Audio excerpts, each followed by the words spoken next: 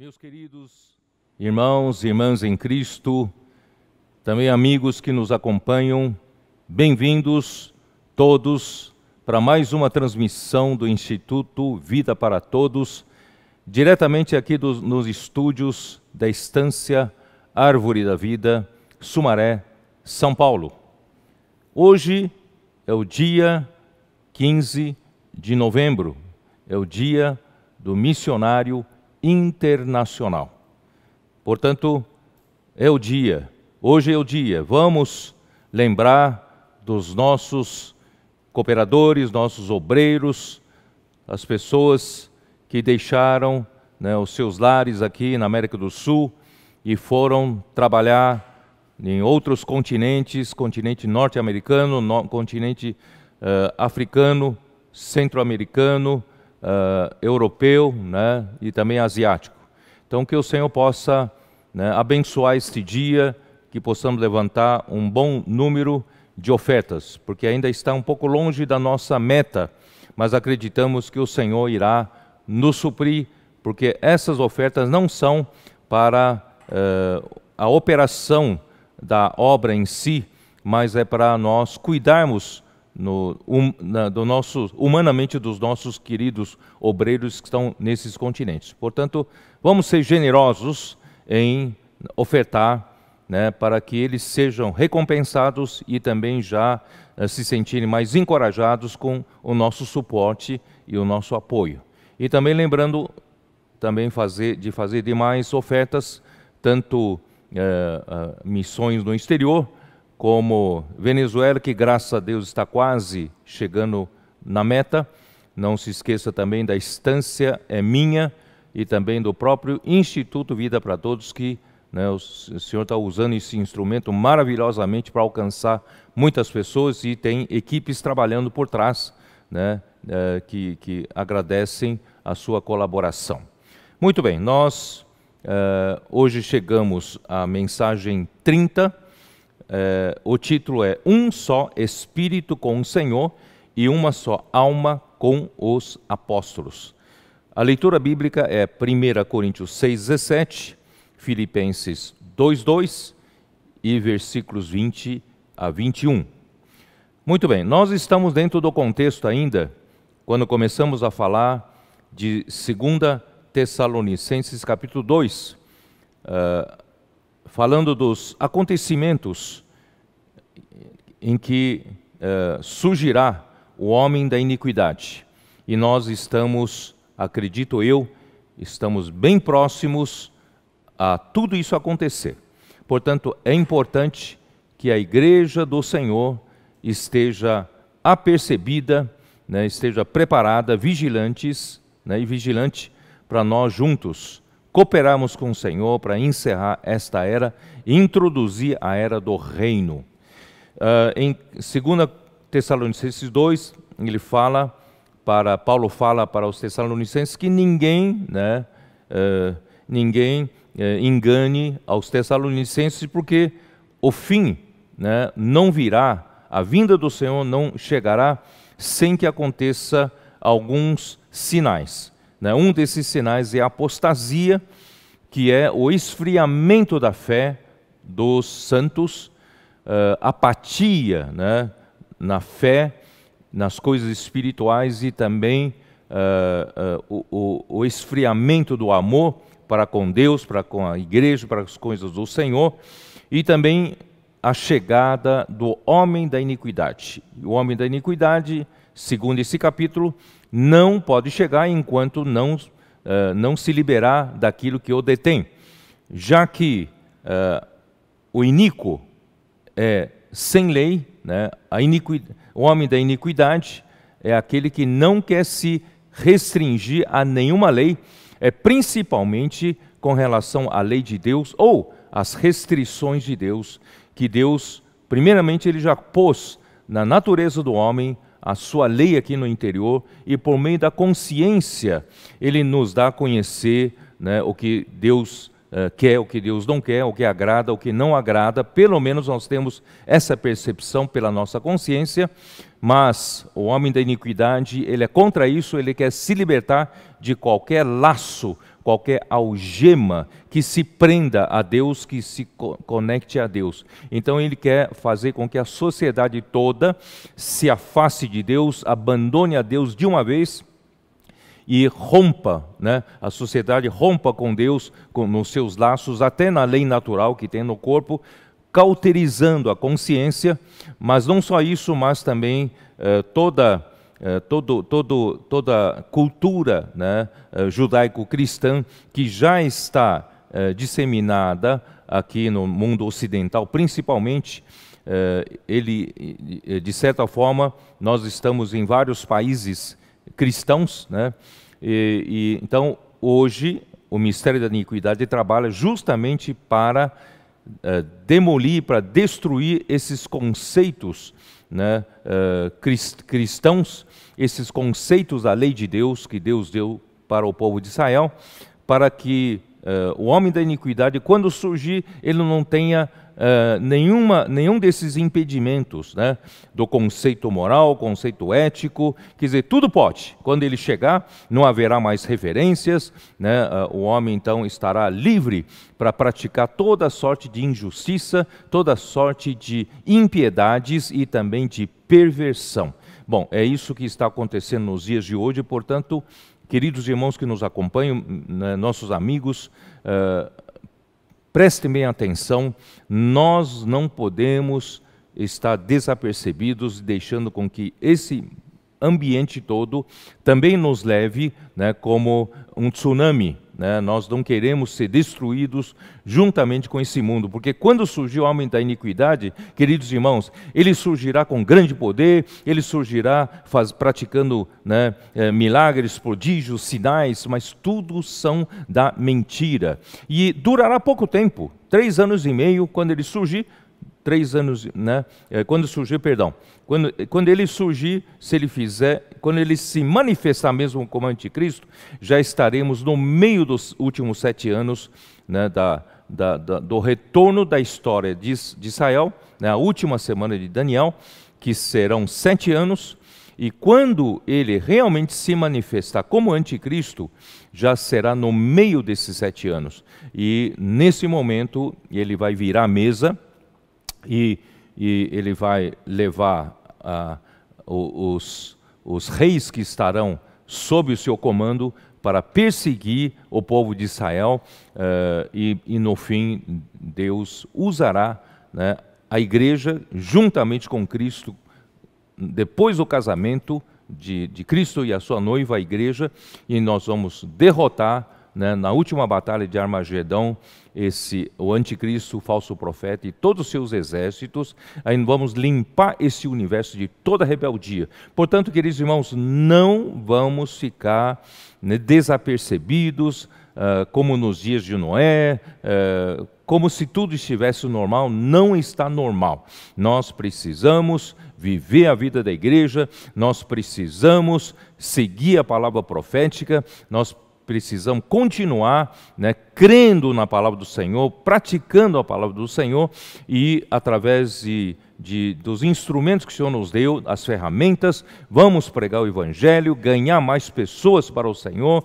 Queridos irmãos, eu sinto que a, a pandemia, não é? é chegamos numa etapa em que voltamos, algumas igrejas voltaram para uh, reuniões presenciais, mas ainda sinto, né, uh, uh, pelo que eu pude ver, eu sinto ainda nossas reuniões, por causa do distanciamento, por causa das, das máscaras, ainda um tanto, as reuniões estão um pouco presas, né? O, o, os irmãos ainda não estão se soltando, não estão soltos. Queridos irmãos, as pessoas que o Senhor vai introduzir na vida da igreja precisam encontrar entusiasmo entre nós, precisam encontrar alegria de viver a vida da igreja, não é isso?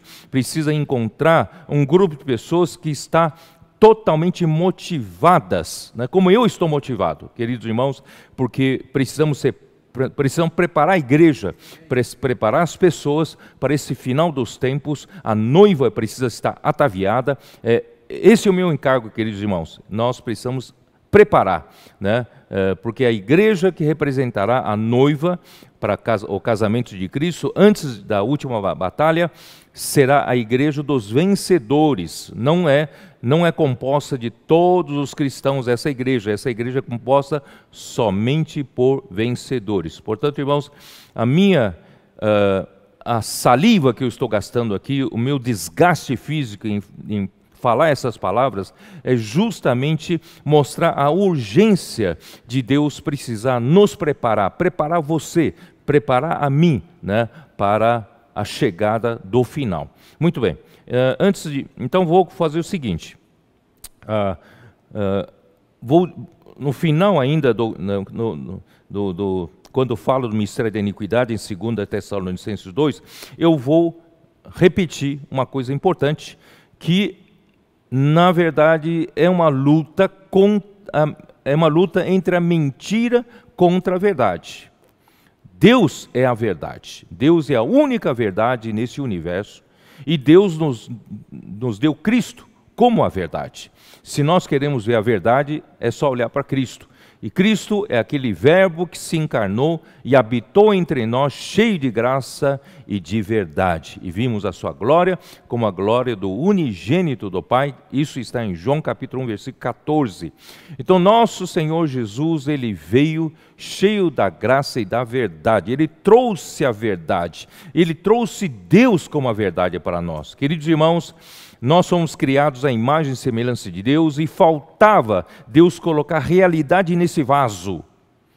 Nós somos um vaso criado à semelhança, à imagem de Deus, mas Deus precisava colocar o conteúdo nesse vaso, e o conteúdo é o próprio Deus, e Deus é a verdade. Deus quer colocar a própria realidade de Deus em nós. Portanto, é uma luta aqui na terra entre a verdade e a mentira. Satanás, ele é o pai da mentira.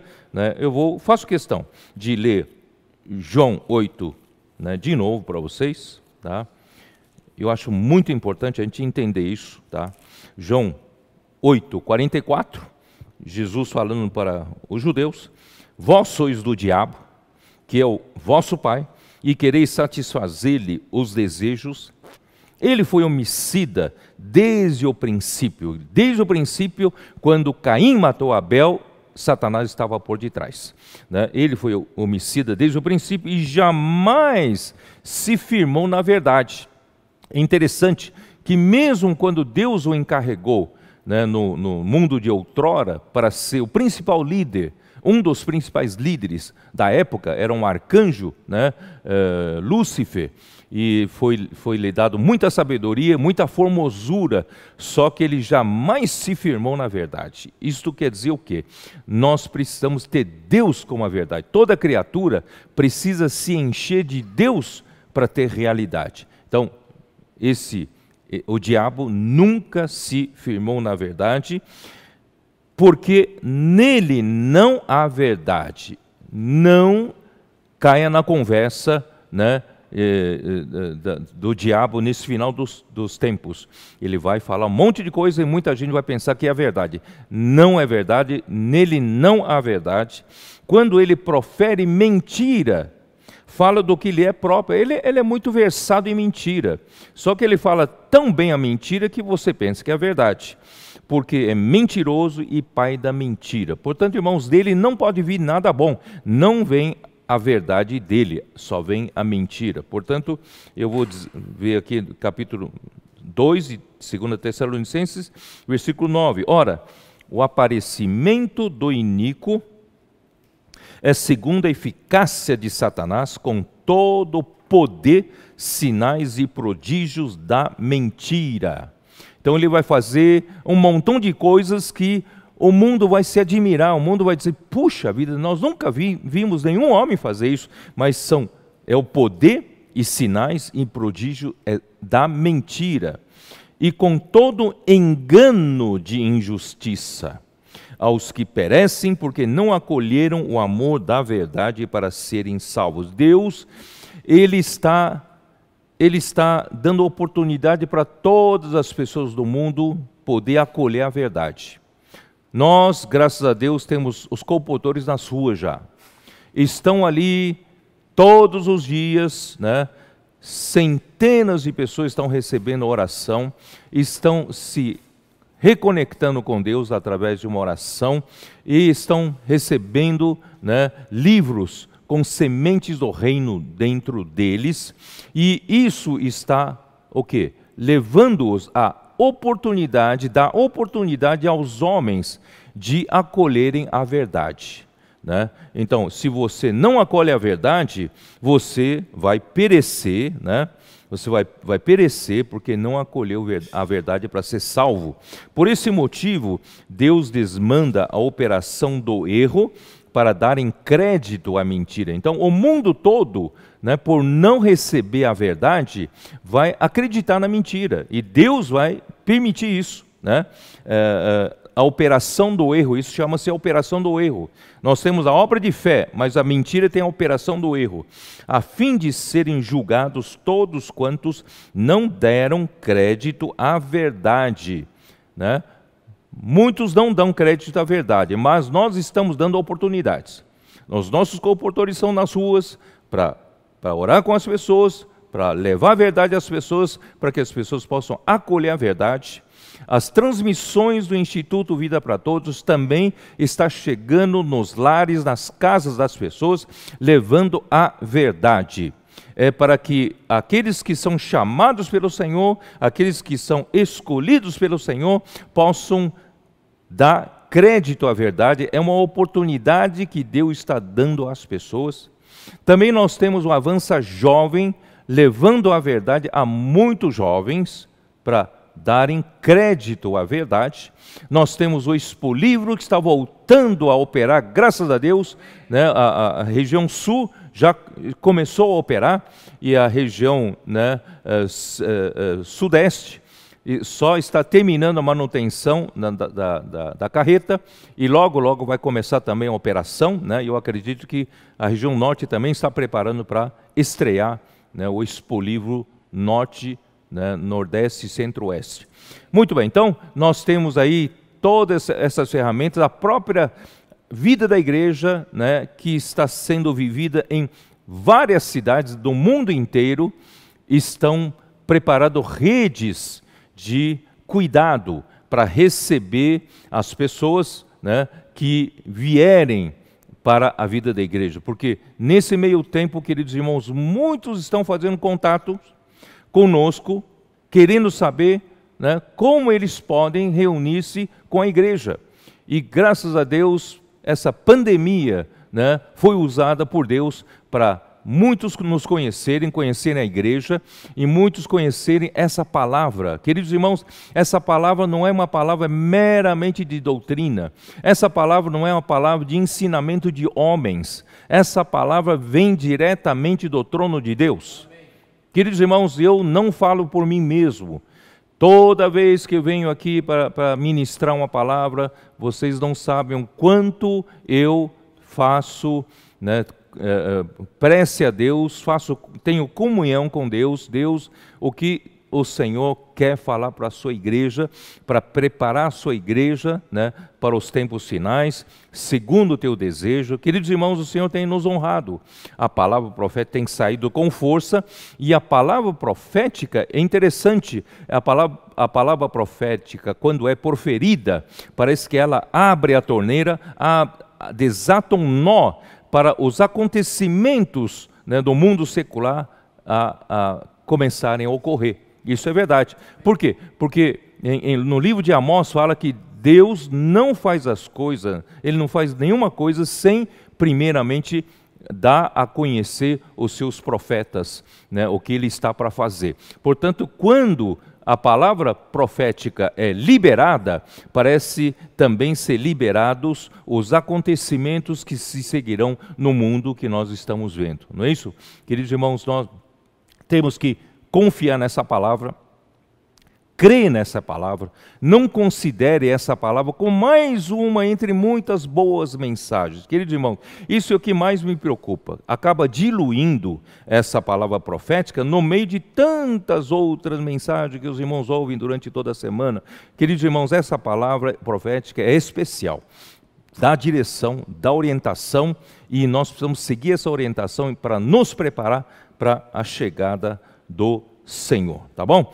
Então, uh, uh, muito bem, a fim de serem julgados, eu li, né? A fim de serem julgados todos quantos não deram crédito à verdade, antes, pelo contrário, deleitaram-se com a injustiça. Vamos salvar essas pessoas, queridos irmãos, estão sendo enganadas né, pelo, pelo engano, né, pela mentira, mas vamos trazê-las para a verdade. E a verdade, queridos irmãos, está na igreja, a verdade está na palavra profética, a verdade está com Deus, e Deus é a verdade, e Cristo é a verdade, não é isso? E nós podemos viver aqui na igreja para sermos a coluna e base da verdade. Muito bem, então vou seguir o que eu preparei para hoje. Uh, eu queria faz, fazer uma uma, mostrar para você a sequência dos fatos, né, a sequência dos fatos do final dos tempos. Nós falamos algumas semanas atrás das 70 semanas de Daniel, tá? Então, tomando aquilo como referência para vocês poderem entender. Tá? As 70 semanas de Daniel 69 semanas, vou resumir as 69 semanas com respeito à história de Israel terminou, terminaram com a morte do ungido, com a morte de Cristo. Eu vou usar uma referência, não sei se esse, esse, essa data é precisa, mas só como referência. Né? Uh, Cristo então foi crucificado no ano 30, no ano 30 no corrente calendário. Tá? Então, quando Cristo morreu, a história de, do povo de Israel é, parou ali, foi interrompida, né? interrompida.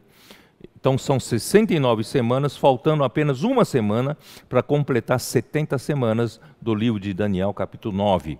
E essa última, última semana é, é, é uma semana de anos. Então fal, faltará né, uma semana de anos, são sete anos. E esses sete anos, segundo as profecias da Bíblia, uh, voltará então a contar a história de Israel novamente, mas há um intervalo, e esse intervalo é um intervalo de aproximadamente dois mil anos. Né? Bom, quando voltar a, a recontar a história de Israel nesses últimos sete anos, acontecerá com um, um sinal. Que sinal?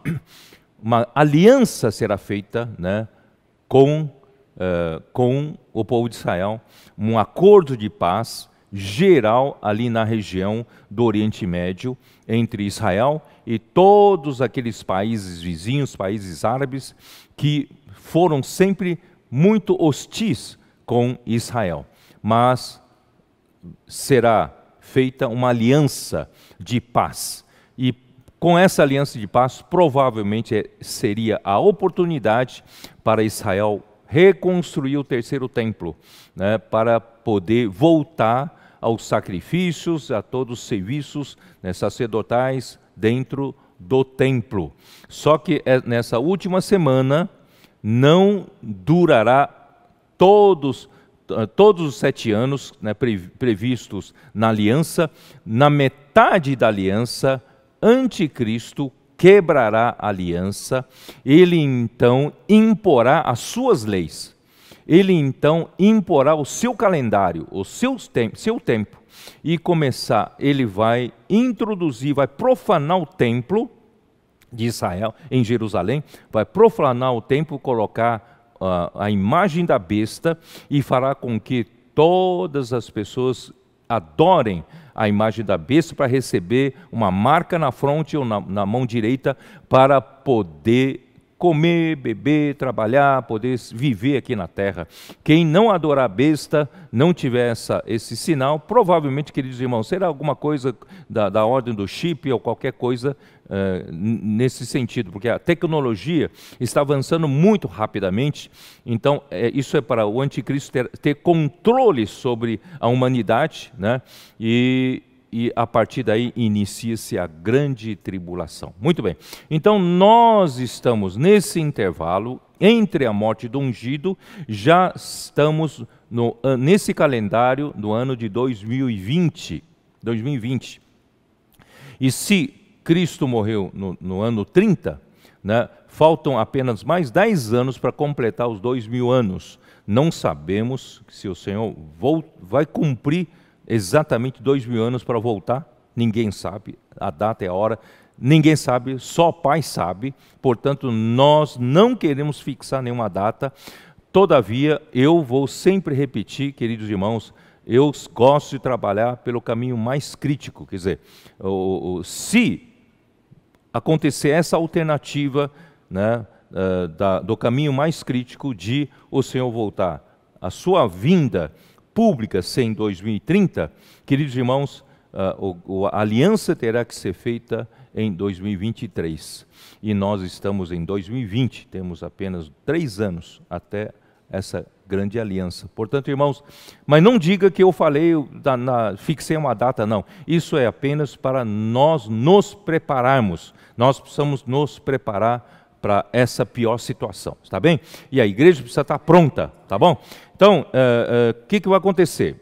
Quando e nesse intervalo de do, aproximadamente dois mil anos, eu não sei se será exatamente dois mil anos, não sei, só o Senhor sabe, mas esse intervalo será a era da igreja, já que foi interrompida a história de Israel no ano 30, agora, a partir dali, a, a, a, morte e a ressurreição de Cristo foi gerada a igreja né, no dia do Pentecostes em Jerusalém. A igreja, então, inicia a sua era, a era da igreja, e é a era do mistério. Eu já falei sobre isso. A era da graça, a era da igreja e é também a era do mistério. Por quê? Porque, queridos irmãos, a igreja não não faz parte de disputa de poder, disputa do poder político nem econômico, porque quando a igreja se tornar grande demais, queridos irmãos, já perdeu a sua natureza, sua forma. A igreja é para trabalhar né, misteriosamente aqui na terra.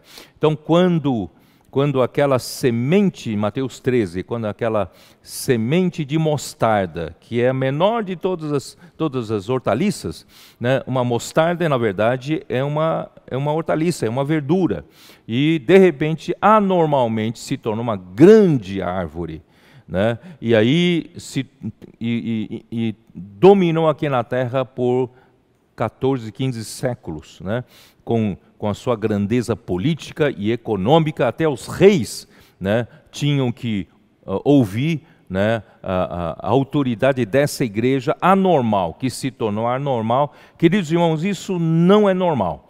Né? Ganhar poder político, ganhar poder econômico. Não, nós, uh, a, a igreja não veio para isso, a igreja veio para trabalhar como um mistério de Deus. Ninguém sabe o que está acontecendo, mas em uma bomba de vida que está, sendo, que está, está acontecendo. Né? Deus está preparando a sua noiva de uma forma misteriosa, na surdina. As pessoas não veem, não veem no cenário político, não veem no cenário econômico, não são poderosos.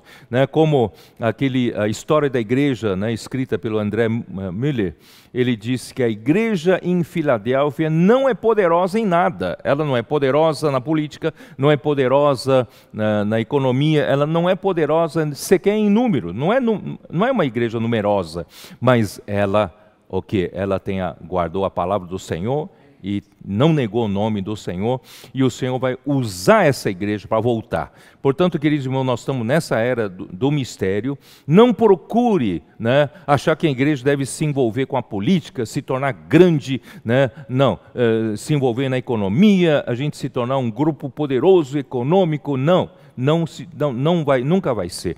Nós, de uma forma bem misteriosa, ninguém dá muita atenção para nós, mas, queridos irmãos, nós vamos definir o final do, dos tempos, nós vamos, nós vamos dar definição final né, para esse mundo, nós vamos nos juntar com aquela pedra, né, não, né, que não foi, eh, não, não foi tirado por nenhuma mão humana, essa pedra vai bater nos pés daquela grande estátua que Nabucodonosor viu, que representa os reinos deste mundo, e, e com essa pedra esmiuçará todos os reinos do mundo. E não só esmiuçará, eles se tornarão como palha que foi levado ao vento, não sobrou mais nada. Mas essa pedra representa Cristo e os vencedores.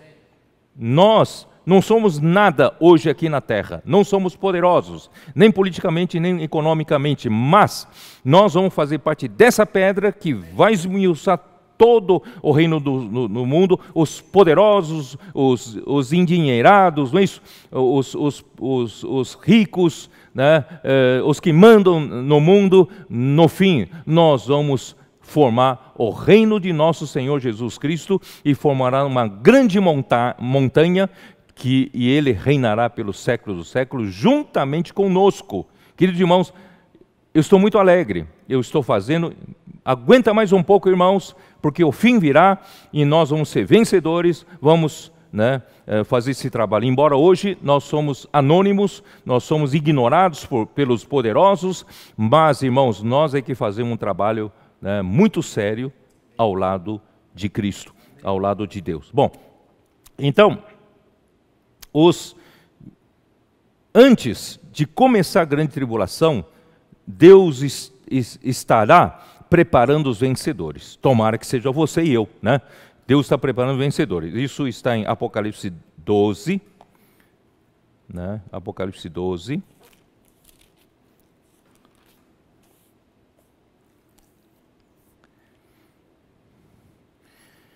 Versículo 1: Viu-se grande sinal no céu, a saber, uma mulher vestida do sol, com a lua debaixo dos pés e uma coroa de doze estrelas na cabeça. Eu já falei que essa mulher representa a totalidade do povo de Deus né, aqui na terra, desde os patriarcas até a era da igreja. Que achando-se grávida, grita com as dores de parto, sofrendo tormentos para dar à luz. Quer dizer, essa mulher representa a totalidade do povo de Deus, no entanto, hoje, na era da igreja, está chegando o momento dessa mulher dar à luz um filho. E quem é esse é, esse filho que essa mulher está preparando para dar à luz, queridos irmãos, justamente são os vencedores. Eu quero fazer parte desses vencedores aqui diz assim: Viu-se também outro sinal no céu, e eis um dragão grande e vermelho, com sete cabeças, dez chifres, e nas cabeças sete diademas. A sua cauda arrastava terça parte das estrelas do céu, e as quais dançou para a terra, e o dragão se deteve em frente da mulher que estava para dar à luz, a fim de lhe devorar o filho quando nascesse. Quando nascesse. Né? Então, Uh, então, aqui está falando né, uh, o filho que está para nascer.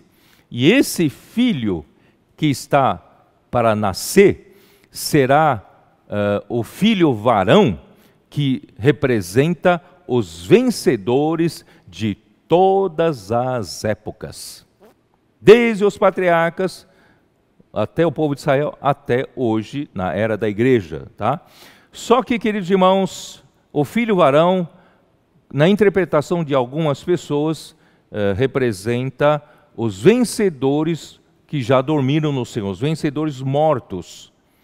Mas, irmãos, eu não interpreto assim, tá? Eu peço sua licença, porque aqui diz assim no versículo, final do versículo 4, o dragão se deteve em frente da mulher que estava para dar à luz, a fim de lhe devorar o filho quando nascesse. Quer dizer, existe um evento que está para acontecer, que é o nascimento do filho varão. Então, se é um evento que vai que está para acontecer, não pode o filho varão ser formado somente dos, dos vencedores dos, dos vencedores mortos. Alguém tem que estar vivo na época para fazer acontecer um evento. Que evento é esse? Evento do nascimento do filho varão. Né? Por isso, eu interpreto que o filho varão é a totalidade de todos os vencedores, sejam os que já dormiram diante do Senhor, e engloba também os vivos. Porque há um momento em que os vivos vencedores provocarão né, uma situação que é o nascimento do filho varão.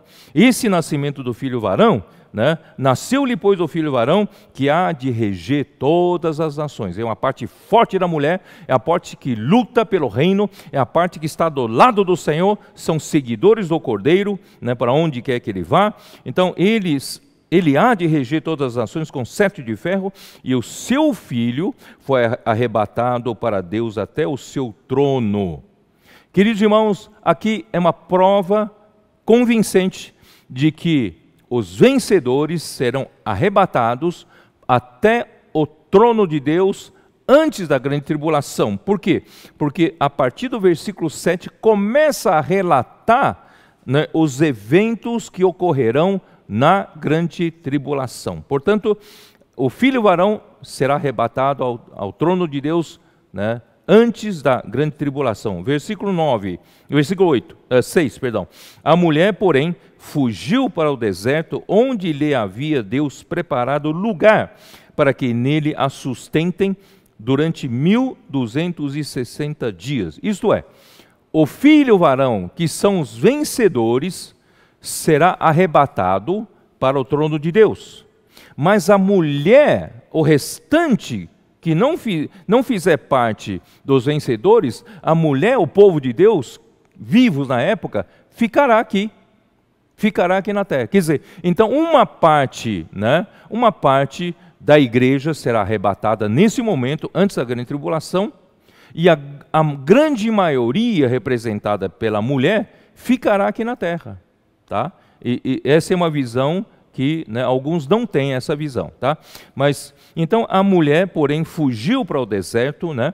Onde será o deserto? Queridos irmãos, irmão Dong, ele mostrou para a gente naquele mapa mundi e, e graças a Deus que a América do Sul não se situa, não se situa no centro, né, dos acontecimentos uh, que quando quando virá o anticristo. Quer dizer, o centro dos acontecimentos será no Oriente Médio, e será naquela região, a Europa será grandemente envolvida, e toda, todo o hemisfério norte, né, até os Estados Unidos, a Rússia, ali está um, a, o grande envolvimento das nações. E aqui no hemisfério sul, extremamente, no, no extremo sul principalmente, é, uma, é um hemisfério meio esquecido pelo mundo né, o mundo né, está mais uh, vivendo, o mercado todo está mais vivendo no hemisfério norte. Então, nós, pela, pelo arranjo soberano de Deus, aqui na América do Sul, é um lugar meio esquecido do mundo, portanto, esse lugar, queridos irmãos, é o deserto. Por isso, Deus nos colocou, principalmente aqui na América do Sul, as igrejas com visão, as igrejas com mais pessoas vivendo essa visão, segundo a palavra profética, fortalecendo a igreja, estão aqui na América do Sul.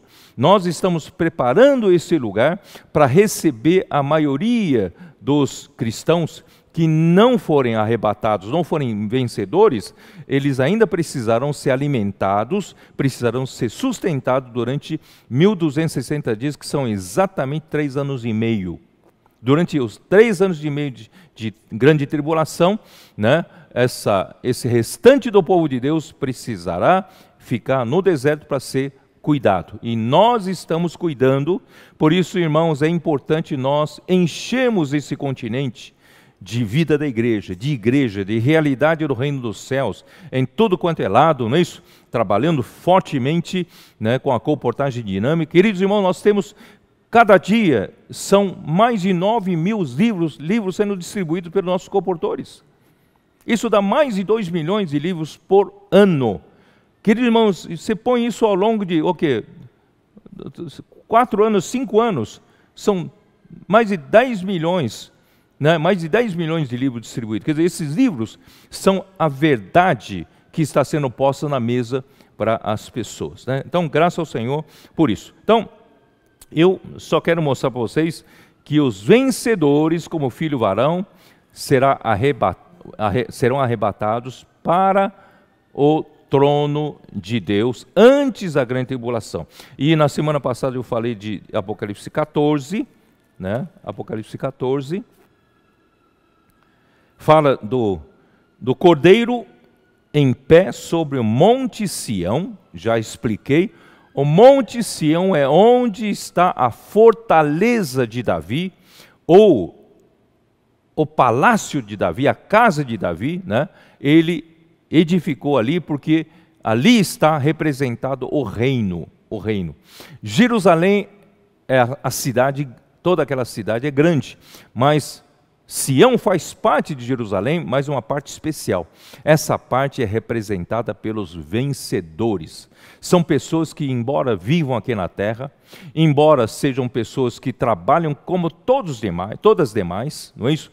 Têm os seus compromissos profissionais, têm os seus compromissos familiares, têm os compromissos sociais, eles vivem normalmente como todo mundo, mas eles fazem parte de Sião porque o coração deles é totalmente né, um com o Senhor. Eles estão aqui preocupados em trazer o reino de Deus aqui de volta aqui na terra. Então, esses que fazem parte do Sião serão os vencedores e Apocalipse 14 fala de 144 mil.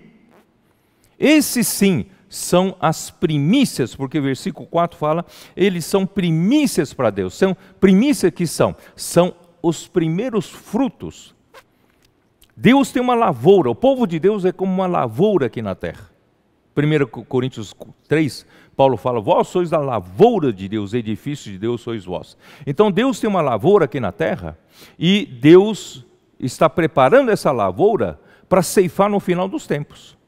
Só que antes de, da colheita, da vindima fi, final, da colheita final, da messe né, a ser colhida, Deus uh, haverá haverão, haverá primeiros frutos que amadurecerem primeiro. Esses primeiros frutos são chamados das primícias. Essas primícias no Antigo Testamento eram colhidas antes e oferecidas a Deus. Portanto, Deus está preparando na sua igreja os primeiros frutos. Faça parte dos primeiros frutos você também. Eu quero fazer parte. Não é isso? Portanto, irmãos, embora vivamos aqui na terra, né, como todo mundo, trabalhando, né, fazendo as coisas normais, levando à frente nossa responsabilidade, mas nós somos soldados de Cristo, nós somos guerreiros de Deus já hoje, somos o filho varão, na parte forte, lutamos do lado de Deus, de Deus pelo reino de Deus. E os 144 mil, falei no, na semana passada, pode representar, é um número simbólico muito interessante, porque 12 é o número da completação na economia eterna de Deus, na eternidade. Porque a, a, a completação no tempo é o número sete. Sete igrejas, sete lâmpadas, sete candeeiros, sete. Mas na eternidade futura será o número doze a completação. Então, doze vezes doze é a completação da completação, dá 144. Ainda esse número multiplicado por mil, então é a consumação final do da completação da completação. Portanto, irmãos, Deus vai terminar, né? Quando colher isso, Deus está, estará terminando com o seu plano. E os 144 mil também poderá ser um número real, poderá ser um número literal, porque é muito possível. Semana passada eu disse que nós temos aqui convivendo conosco quase um bilhão dos chamados evangélicos, né? E claro que não estão, os cristãos não se resumem só aí, certo? Mas de qualquer forma, é um número para nós termos uma referência. Então, se nós temos em torno de um bilhão de cristãos na terra convivendo conosco, contemporâneos nossos, queridos irmãos, 144 mil é uma proporção muito pequena, perto de um bilhão, um bilhão de pessoas. Então, irmãos, não são muitos que serão arrebatados vivos, como as primícias, como os primeiros frutos. Eu quero acreditar, irmãos, que os, os primeiros frutos estarão principalmente na igreja. Serão aqueles que estão vivendo na realidade da vida da igreja. São aquelas pessoas comprometidas com a vontade do Senhor, comprometidas com a palavra profética, são aquelas pessoas que estão comprometidas com a expansão do reino, é isso? com a pregação do evangelho, com a edificação da igreja, né? em preparar os santos que convivem junto com eles né? para para amadurecerem juntos, preparar, prepararem 144 mil. No nosso levantamento, nós temos aproximadamente 62 mil, né, entre o que nós sabemos, né, de, de, que vivem a vida da igreja. Eu creio que até o número pode ser mais, maior, uh, mas assim, de qualquer forma, irmãos, eu, eu ainda tenho um sentimento de dizer para vocês: não podemos nos acomodar. Eu tenho um sentimento da gente saltar, fazer esse número, saltar, se, se, se Deus quiser, né, saltar para perto de 120 mil. Por quê? Porque dos 144 mil, queridos irmãos, a grande maioria tem que estar vivendo a realidade do reino dos céus, isto é, a vida da igreja. Claro que Deus tem vencedores em outras tribos, né? mas, irmãos, é principalmente nessa tribo que o Senhor né, colherá os primeiros frutos. Portanto, vamos pregar o Evangelho, por, não, é, não é sem motivo que muitas pessoas, por, em ouvirem a nossa palavra, muitas pessoas em receberem uma oração, estão eh, vendo a realidade né, de, de, de, da igreja, da seriedade da vida da igreja. Não estamos aqui mercadejando a palavra de Deus, não estamos aqui para ganhar dinheiro com a palavra de Deus, não estamos aqui para fazer fama pessoal, né? nós estamos aqui unicamente trabalhando como escravo de Deus, como servo de Deus, irmãos, para que a vontade de Deus seja feita entre nós. Portanto, irmãos, Seja você um desses, né? vamos juntar-nos para esses 144 mil, né? você também ajude a pregar o Evangelho. Muito bem. Então, até as primícias, que serão os vencedores vivos, serão arrebatados também antes da grande tribulação. Mas você vai dizer, mas peraí, como é que, né? Como é que você sabe? Porque a partir, olha aqui, ó, do capítulo 14, quando termina no versículo 4 e 5, né? 5 é, fala assim, a parte. Uh, si, não, a, versículo 4: São estes os que não se macularam com mulheres, porque são castos. São eles os seguidores do cordeiro por onde quer que vá. São os que foram redimidos dentre os homens, primícias para Deus e para o cordeiro, e não se achou mentira, na sua boca não tem mácula. Eles estão lutando do lado da verdade e, portanto, não podem ter mentiras. Nós não estamos do lado da mentira, não estamos aqui enganando a ninguém. A nossa luta aqui, irmãos, é para manifestar a verdade. Tá?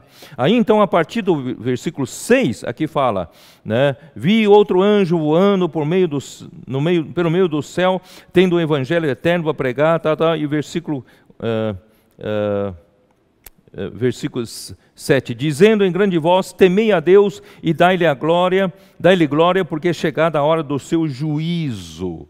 Começa o julgamento de Deus né, seguiu, versículo 8, seguiu outro anjo seguindo, dizendo, caiu, caiu grande Babilônia, que tem dado a beber todas as nações do vinho da fúria da sua prostituição. Quer dizer, a partir daí começa a grande tribulação. Isso é uma prova convincente de que as primícias serão arrebatadas antes da grande tribulação. Vocês estão entendendo? Então, tanto o filho varão quanto as primícias, o filho varão faz parte a totalidade de todos os vencedores de todas as épocas, e o, os, as primícias são aqueles que estarão vivos, os vencedores por ocasião da paro, antes da parousia do Senhor estarão vivos e serão arrebatados, recolhidos até o celeiro celestial, né, no terceiro céu. Aí então começa a grande tribulação e quando é que acontece a vindima da a maioria dos santos está aqui no versículo 14, ainda Apocalipse 14. Olhei, eis que uma nuvem branca, e sentado sobre a nuvem um semelhante a filho de homem, tendo na cabeça uma coroa de ouro,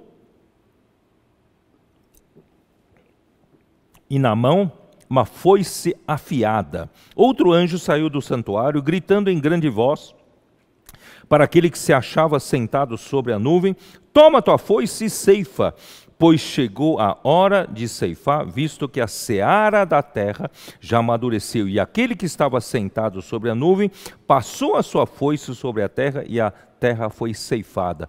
Essa é a ceifa da messe, é a ceifa da colheita geral. Aqui será colhida né, todos os santos, né, todo o povo de Deus que estiverem vivos. Bom, é disso que eu vou falar hoje, tá bom? Então, mesmo que eu tenha chegado só quase no final para falar sobre hoje, para falar sobre isso, mas é importante contextualizar vocês né, sobre tudo isso. Muito bem. Então haverá uh, três anos e meio, né, haverá uh, uh, sete anos. Nesses sete anos, a última sete, a última semana de Daniel, que são sete anos, eu já disse, no começo da, da, da última semana de Daniel, haverá um grande acordo ainda não começará a grande tribulação. Muitos confundem aí. Não. Haverá grande acordo, um acordo de sete anos. E hoje, queridos irmãos, está, já estão acontecendo vários acordos de paz. Vocês já sabem, vocês vêm acompanhando, não é isso? Dos países do Oriente Médio, principalmente aqueles países árabes, né, é, perto do Golfo Pérsico, ali na região, são os países mais moderados, menos radicais, estão firmando acordo de paz com Israel. E nós acreditamos que isso vai fazer esses países, com acordo de paz com Israel, prosperarem. E os demais países mais radicais vão, serem, vão ser pressionados né, também a fazerem esse acordo, porque eles não querem, não querem ficar para trás. E haverá sempre alguém poderoso por trás costurando esses acordos. Né? Então, uh, vai chegar um momento, eu não sei se será 2023, mas será um, chegará um momento de uma aliança de sete anos. Tá? Então, essa aliança permitirá, como eu disse antes, a construção do templo. Então, aí quando, no meio do acordo, sete, dos três anos e meio, do acordo passaram-se três anos e meio, então o anticristo se manifesta como homem da iniquidade e quebra esse acordo e inicia-se a grande tribulação. Né? Então, dos no, aí, no final dos. Hoje não vou falar sobre a grande tribulação. Então, no final da grande tribulação, quando Deus for usar Cristo para executar a, a, a, a, consumação desse século, a finalização né, dessa, dessa era, Deus né, vai arrebatar todos os santos. Aqueles, aquela mulher que for deixada aqui na terra né? Eu, eu já disse também, nesse meio tempo da grande tribulação, haverá também vencedores tardios.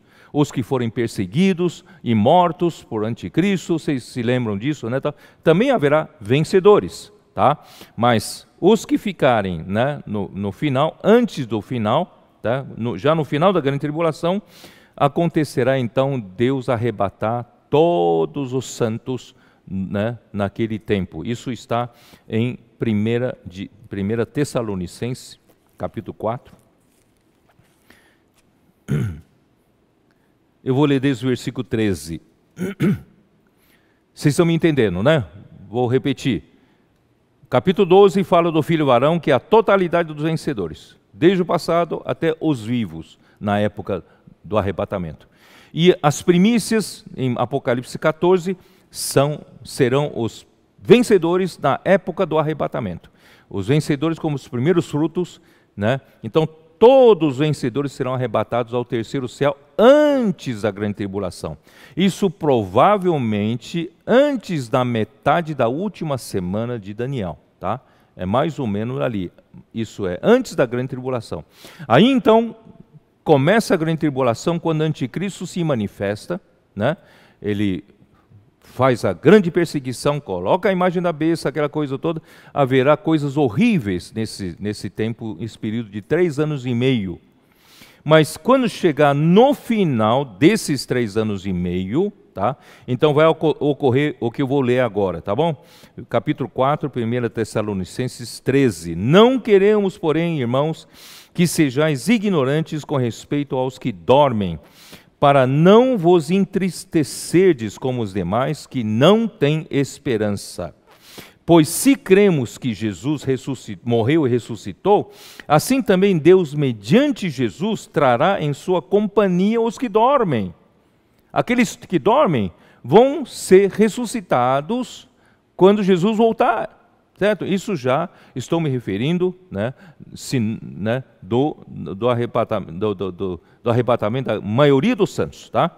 Aqui, versículo 15: Ora, ainda vos declaramos por palavra do Senhor isto: vós, nós, os vivos, os que ficarmos até a vinda do Senhor, essa vinda aqui é a vinda pública os santos que ficarem até a vinda do Senhor, de modo nenhum precederemos os que dormem, quer dizer, os que já morreram vão ressuscitar antes dos que estão, estarão vivos, quer dizer, serão ressuscitados e arrebatados. Porquanto o Senhor mesmo, dada a sua palavra de ordem, ouvida a, a voz do, a voz do arcanjo e ressoada a trombeta de Deus, descerá dos céus, o Senhor mesmo descerá dos céus, e os mortos em Cristo ressuscitarão primeiro, quer dizer, os, os mortos né, ressuscitarão primeiro, e depois nós, os vivos que ficarmos, os que ficarmos, seremos arrebatados juntamente com eles entre nuvens para o encontro com o Senhor nos ares. Veja bem, é diferente. O filho varão e as primícias serão arrebatados até o trono de Deus, terceiro céu. Mas a, a maioria dos santos será, será arrebatada entre nuvens e para o encontro do Senhor nos ares. E assim estaremos para sempre com o Senhor. Consolai-vos, pois, uns aos outros com essas palavras. Então, o eh, que, que vai acontecer? Nesse, aqui nos ares, vai acontecer eu vou ler aqui, vamos ler 2 Coríntios 5, versículo 10. 2 Coríntios 5, 10. 5, 10, tá? Porque importa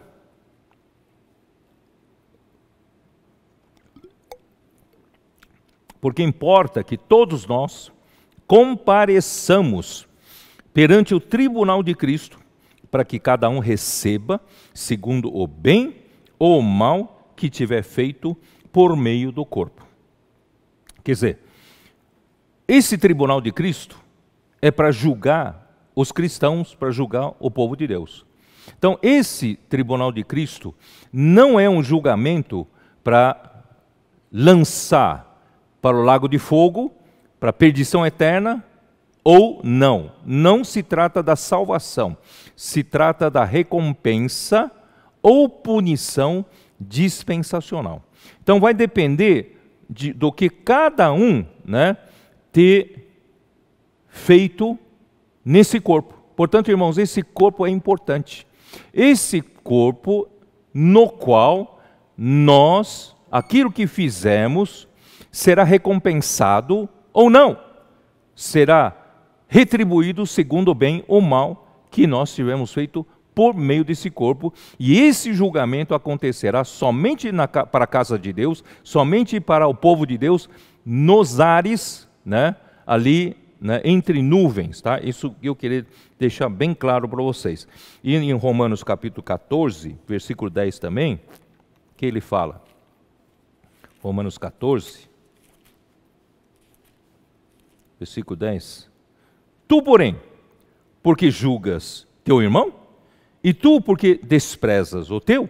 Pois todos compareceremos perante o tribunal de Deus. Esse tribunal de Deus será esse tribunal que Cristo julgará, né, todos nós, os da casa de Deus, o povo de Deus, nos ares, tá? Então, queridos irmãos, nós não somos juízes. O Senhor não nos colocou aqui para julgar um ou julgar outro.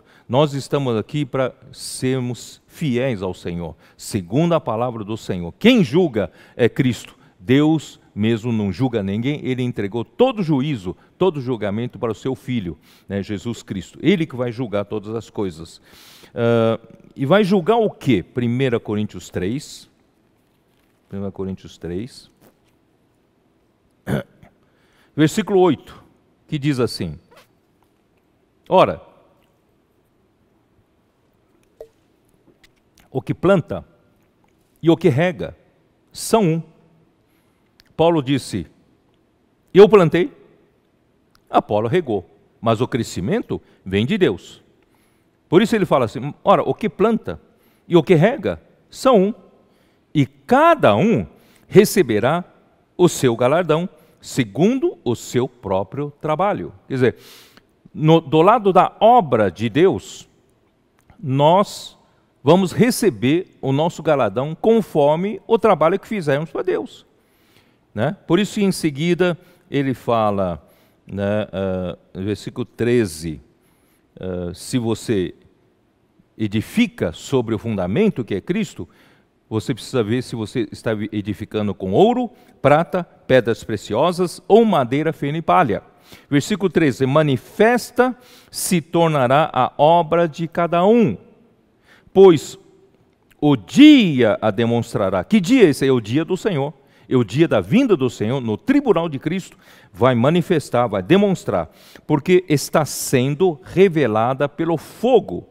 E qual seja a obra de cada um, o próprio fogo o provará. Quer dizer, madeira fina e palha não resistem ao fogo. Quando aquilo que nós fizemos, que não fizemos de acordo com a vontade de Deus, de acordo com material, né, materiais que são o próprio Deus próprio, né, ouro, prata e pedras preciosas, nós, a nossa obra pode ser volumosa. Nós temos feito uma coisa grandiosa, mas quando vem o fogo, se tudo queimar, não vai sobrar nada. E nós não vamos ser bem recompensados, com certeza. Tá?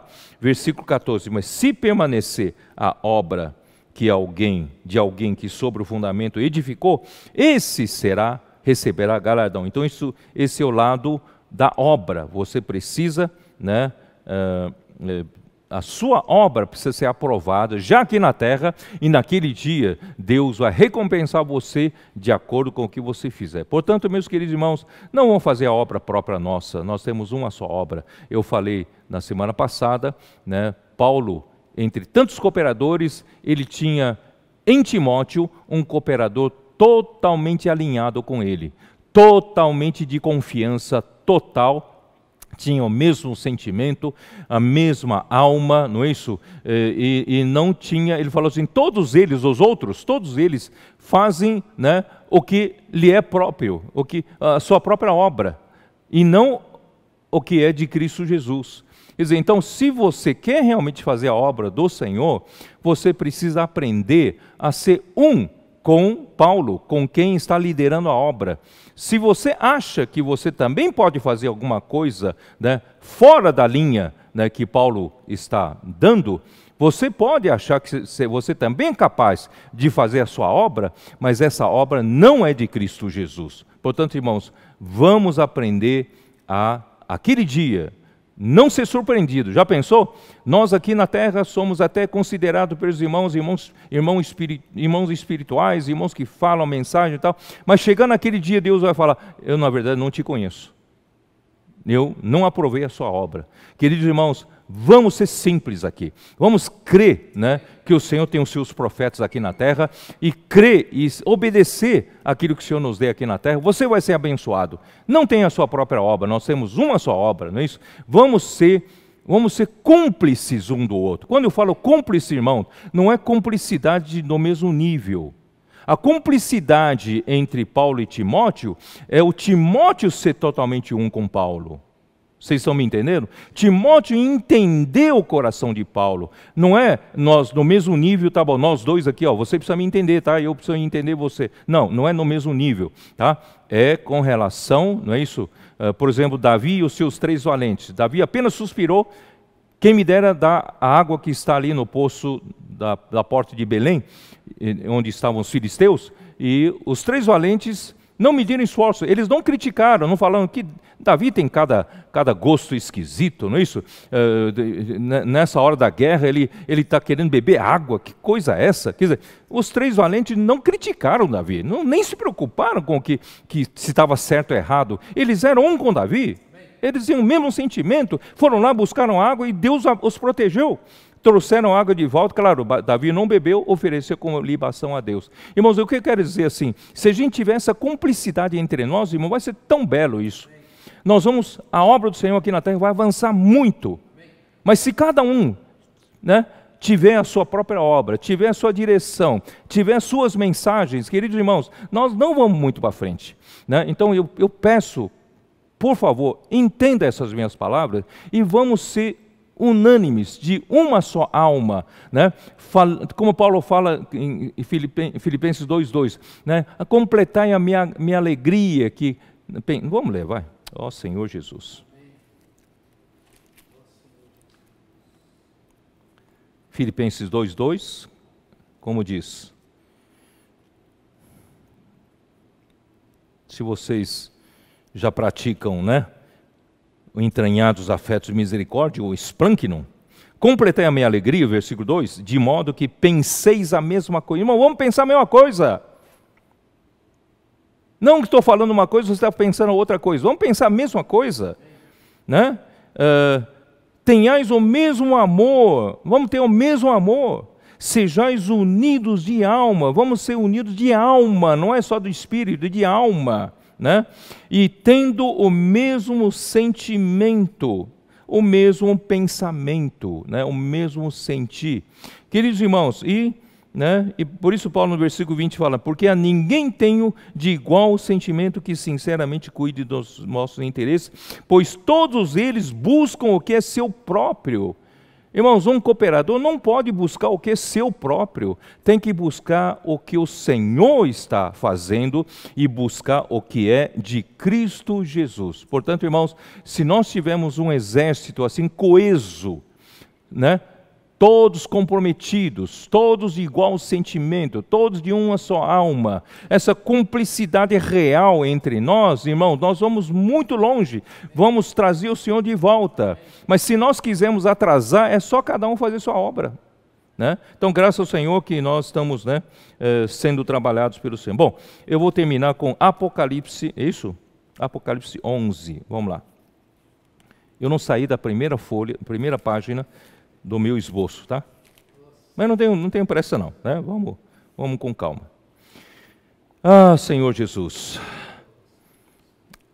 aquela trombeta que eu falei em 1 Tessalonicenses capítulo 4, 16, versículo 16, é a última trombeta, né, que está em 1 Coríntios 15, 52, tá?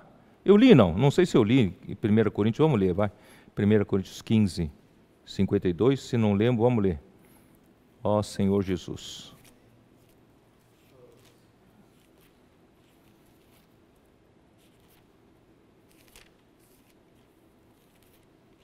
Que diz assim: Num momento, num abrir e fechar de olhos, ao ressoar da última trombeta. Qual é a última trombeta? Né? A trombeta soará os mortos ressuscitarão incorruptíveis e nós seremos transformados. Essa última trombeta, irmãos, é a ressurreição e arrebatamento da maioria dos santos. Né? Três anos e meio antes, o Senhor já tinha, já terá arrebatado os vencedores, tanto o filho varão como as primícias. E aqui, ao ressoar da última trombeta, tá? É a sétima trombeta. Está, isso está em Apocalipse 11:15. Vamos lá. Apocalipse 11:15 o sétimo anjo tocou a trombeta e houve no céu grandes vozes dizendo: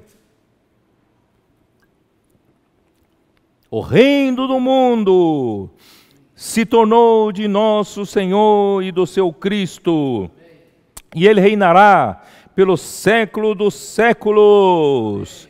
Chega de Satanás na tentação de Jesus dizer para Jesus, se gabar de que os reinos do, do, do mundo e a glória deles, né, eh, a autoridade sobre os reinos foi dada para ele. Ele dá a quem quer.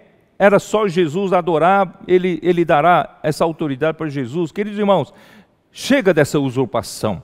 Quando chegar o anjo, o sétimo anjo tocar a, a sétima trombeta, o reino do mundo é aquela pedra de Daniel 2, que foi lançado aos pés da grande estátua, não é isso? De Nabucodonosor, começando pelo império uh, babilônico e, e, seguido pelo império medo-persa e seguido pelo império macedônio, né, macedônico, que é que é representado pelo Alexandre o Grande, depois os seus quatro generais que os sucederam, e no fim o Império Romano, e depois os pés, parte barro, parte ferro, que são os países, os impérios de hoje, onde nós vivemos. Mas, queridos irmãos, quando chegar no final dos tempos, Jesus Cristo vai surgir junta, essa pedra, irmãos, é Jesus Cristo, mas juntamente com os vencedores. E essa pedra vai atingir o, os pés dessa grande estátua, vai esmiuçar. Ele pode ter uma cabeça grande, pode ter um tronco grande, umas pernas fortes, mas a hora que atingir os pés, irmãos, a estátua toda se espatifa e, e será esmiuçado e tornará pó e vem o vento levará tudo, não sobrará mais, não sobrará mais nada. Então o reino do mundo se tornou de nosso Senhor né, e do seu Cristo, e ele reinará pelos séculos dos séculos. Chega, chega do, do, dos reinos do mundo cheio de injustiça, de impiedade, de mentiras, de engano, não é isso? Vamos finalmente ter um, um, um reino de justiça e de paz. Né? Aí eu não vou ter tempo de ler tudo isso, aí eu vou ler para vocês o versículo 18. Na verdade, as nações se enfureceram, e chegou, porém, a tua ira. Né? Então, as nações se enfureceram, quer dizer, as nações não querem mais ficar debaixo do jugo de Deus, não querem ficar né, debaixo ainda preso às leis de Deus, né? Ah, ah, ah, eles querem se libertar dos laços, das algemas, querem fazer o que o homem quer fazer, toda impiedade, toda injustiça, não é isso? toda perversidade, é isso que está escrito. Eu estou repetindo essas frases porque isso está em Romanos capítulo 2, não é isso? Então nós. mas vai chegar também o momento da ira de Deus. Quando chegar o momento da ira de Deus, será o julgamento das nações. Muito bem. Mas antes do julgamento das nações, olha aqui. E o tempo determinado para serem julgados os mortos. Você vai dizer, peraí, quem são esses mortos aqui? O tempo determinado para julgar, serem julgados os mortos. Queridos irmãos, os mortos aqui não são os mortos que não aceitaram Jesus. Não são os mortos incrédulos Aqui se tratam dos mortos, dos filhos de Deus no meio dos santos. Sabe por quê? Porque em seguida ele fala: para serem julgados os mortos e para se dar o galardão aos seus servos, os profetas, aos santos e aos que temem o teu nome. Então, esse julgamento é diferente do julgamento grande trono branco no final do milênio registrado em Apocalipse 20, versículo 11.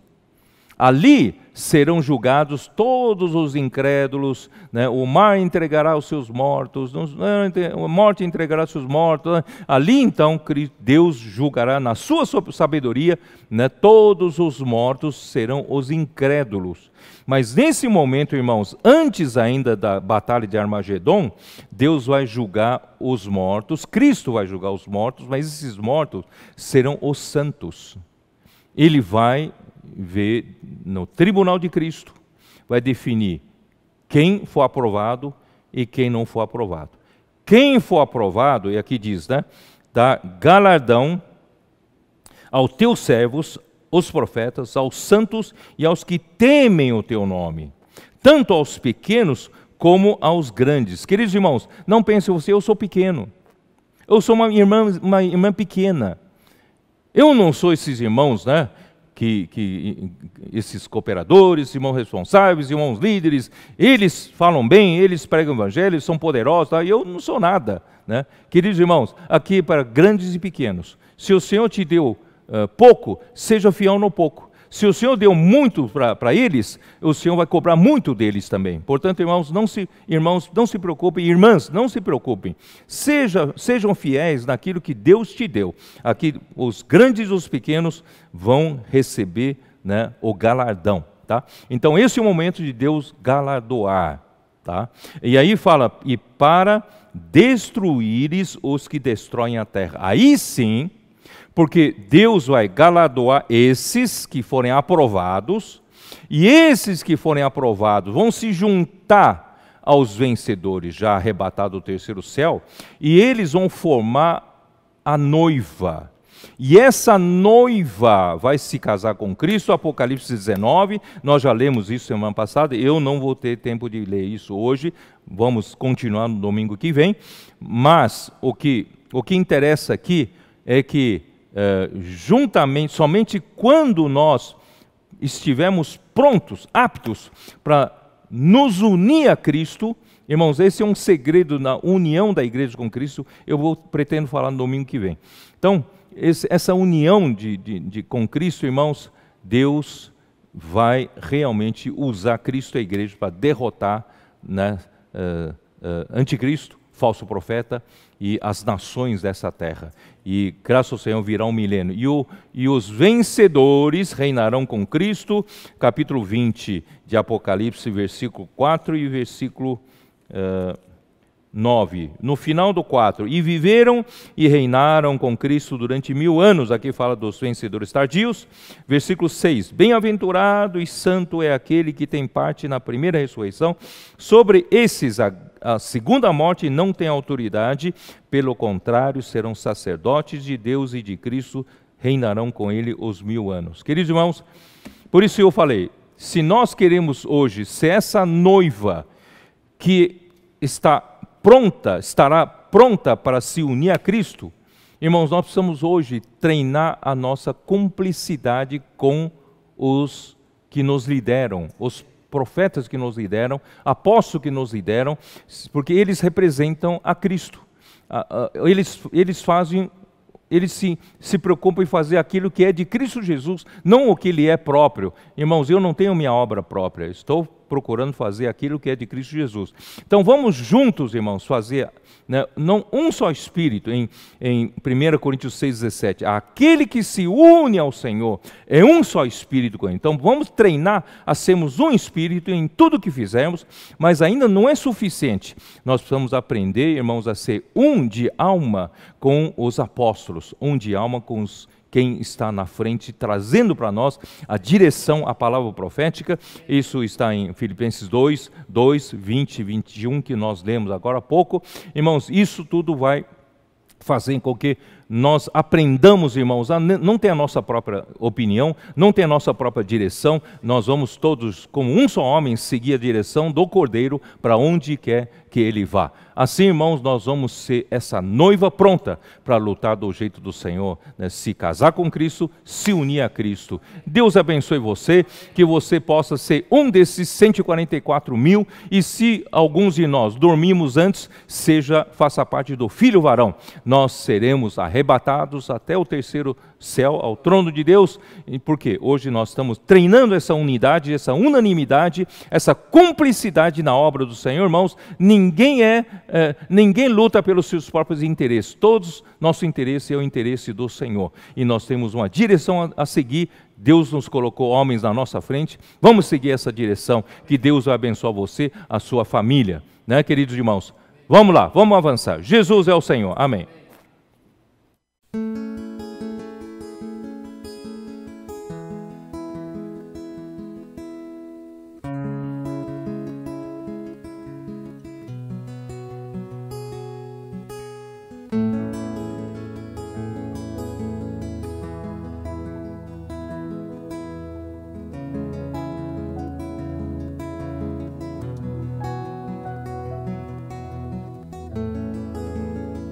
Deus está comigo, Ele me buscou, enfrentando dores, tudo suportou.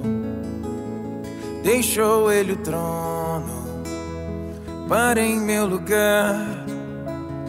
Morrer como Cristo e vida dar a todo aquele que buscar sendo rico para todo que invocar.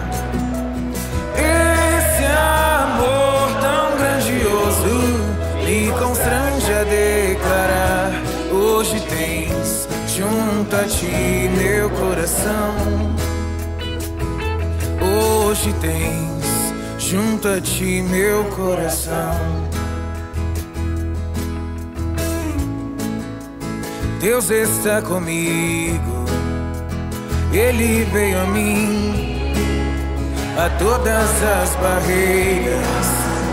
Cristo pôs um fim, extinta distância. Posso me achegar, cumprir-se a promessa de vida